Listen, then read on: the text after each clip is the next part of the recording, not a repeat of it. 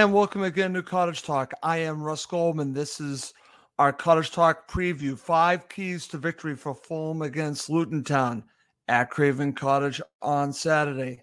I very much look forward to this match, and I'll be sharing my five keys to victory coming up.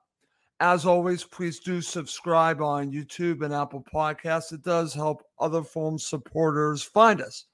We'll also have either one or two post match shows of this match. I look forward to bringing that with you and hopefully have some co hosts to join me.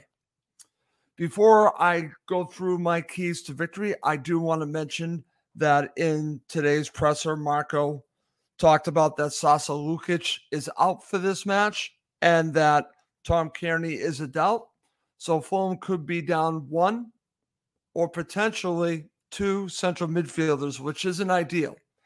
But the good news, before we talk about this actual match, is like what I talked about in the last episode with Dan Crawford, the huge news of the contract extensions for João Palhinha and also for Harrison Reed.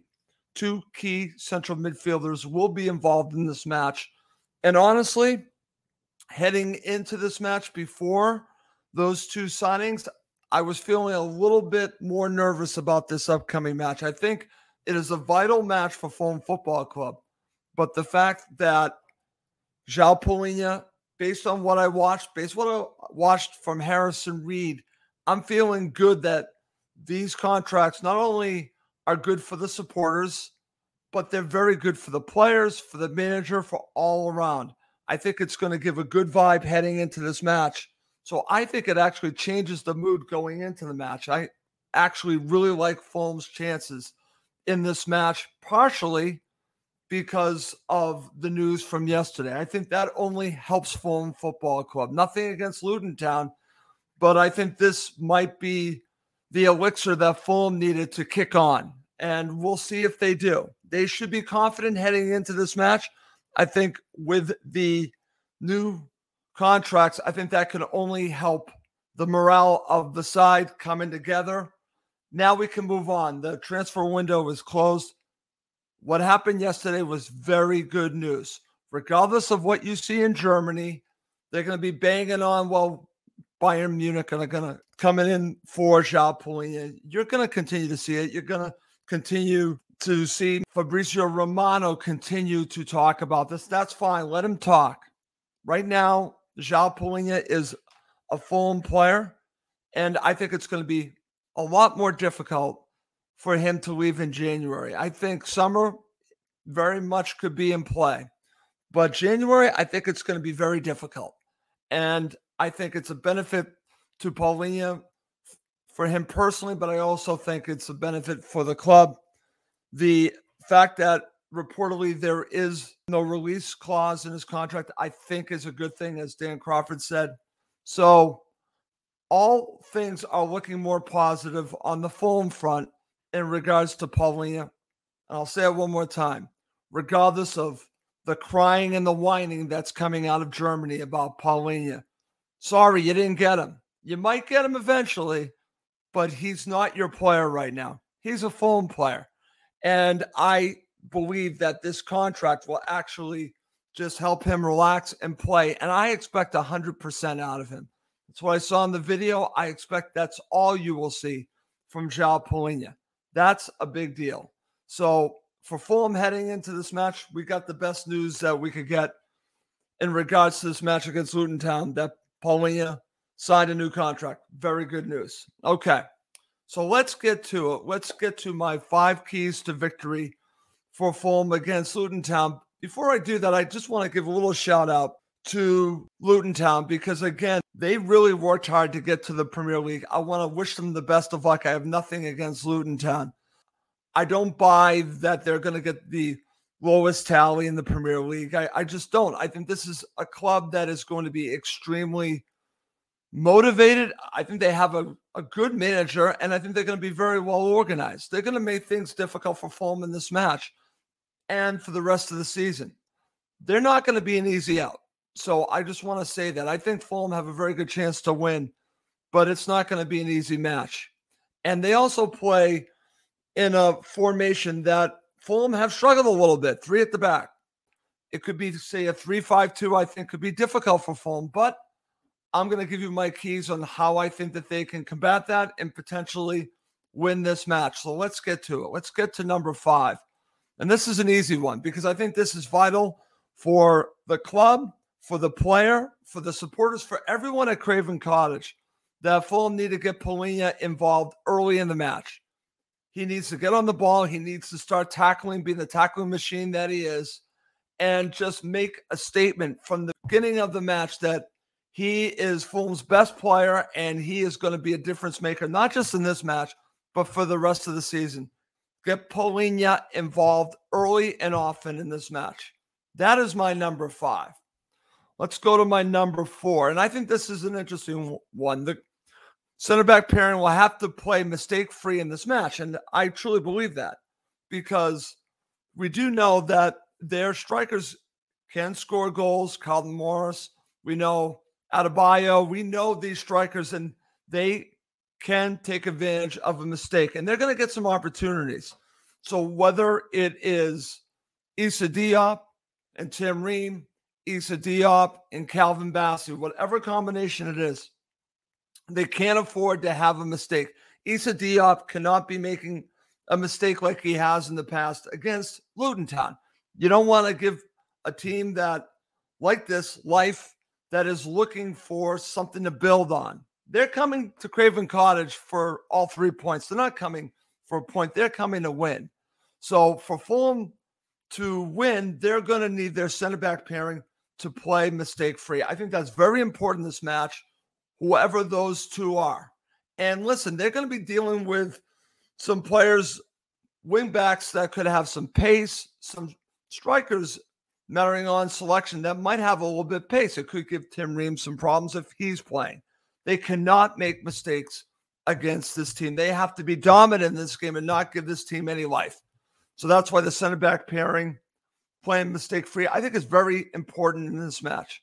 Number three, and I think this is going to be important as well because I think for Fulham to take advantage of Luton Town, I think they're going to have to get the ball wide to the wingers and let them do what they can potentially do. Now, Fulham have several options here. Could it be Willian, Adama Traore? Could it be Harry Wilson? Maybe he plays Bobby Decordova Reid.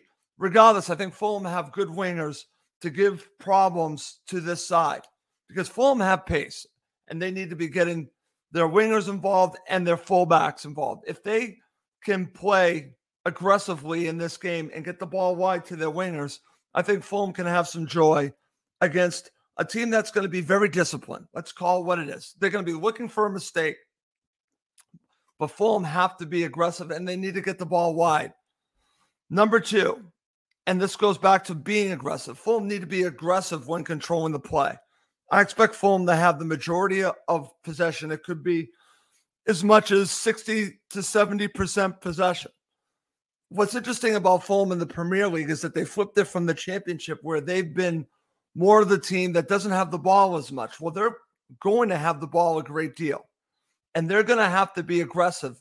This cannot be a style of play that we saw under Scott Parker where we're just probing, we're being very extremely patient. They're going to have to take some risk and they're going to have to be aggressive. That's the Marco Silva way of playing. You can't be sitting still. You're going to have to be aggressive, moving the ball around and finding those gaps. And if they can find those gaps, I think that they can find some joy and score some goals. But I think number two is very important in this match. They need to be aggressive. They cannot be passive against Luton Town because I think that's what Luton Town want. They want you to be passive. You have to be aggressive. You have to be smart. You cannot be conservative in this match, but there is going to be a time where you can be patient, but you can't be conservative. All right. Coming up next is my number one key for this match, and I'll also share my starting 11 prediction for this match. Okay. My number one key to victory for Fulham Football Club is this this is the match for Raul Jimenez to dominate. Now, he's going to be playing against three center backs. So you're thinking, how is he going to be able to do that? But Raul Jimenez is not Mitro.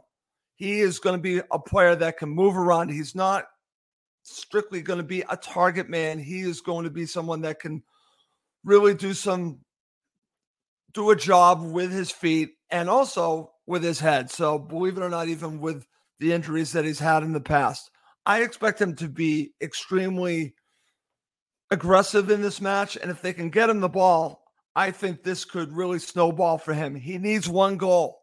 And I think if he gets it in this match, then he's going to kick on. I think he is vital for Fulham in this match. He needs to dominate. He needs to be aggressive. I expect that from Raul Jimenez. And I would back him to score a goal or maybe multiple goals against Luton Town. Okay.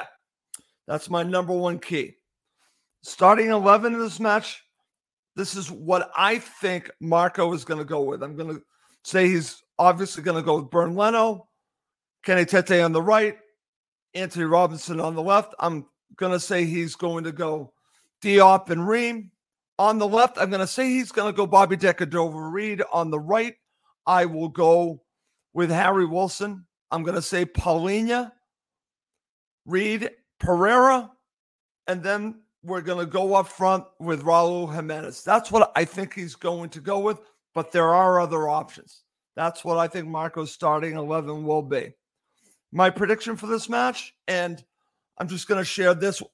I actually uh, shared my thoughts, my prediction with a podcast that covers Luton Town, and I went for two to one. And again, that was before the news that I got about João Palhinha. And I think that changes everything. I think it changes the mood for Fulham Football Club. They're going to be going into Craven Cottage not nervous. I think they're going to be buzzing to play this game. So initially, I was going with a two to one Fulham victory. I've changed it. I'm going for a three to one Fulham victory. I think Fulham are going to score multiple goals, and I am going to back Raul Jimenez to get a brace. I'm going to say Bobby Decordova-Reid will score the other. I think Fulham win this match three to one. That is my prediction. Okay. Well, that's going to do it for this episode of Cottage Talk. As always, please do subscribe on YouTube and Apple Podcasts. It does help other Fulham supporters find us we will have either one or two post match shows of this match. And I look forward to bringing that to you. I'm so glad Fulham are back. I'm back. And I look forward to watching Fulham play on Saturday. Well, that's going to do it for this episode. My name is Russ Goldman. Thank you as always for watching and listening to Cottage Talk, part of the Talk Sport Fan Network.